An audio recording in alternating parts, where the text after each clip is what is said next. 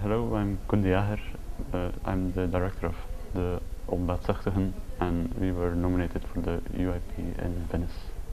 I wrote it myself, but the the idea first came from the Bible, where there's uh, Joseph being sold to the Egyptians by his brother. And then I thought, uh, well, that's a good idea. Let's do it.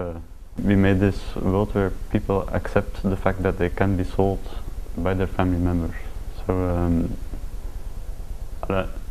it, it you have the freedom to to decide with your family that you want to get rid of your brother, but that's okay. But on the other hand, you you cannot plan your own future as well because you're in the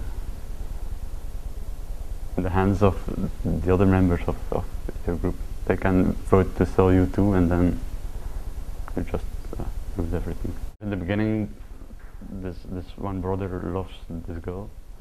The only thing he can really think of is that he buys her to be with him, but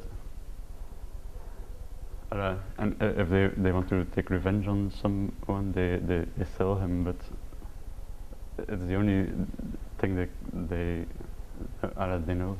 So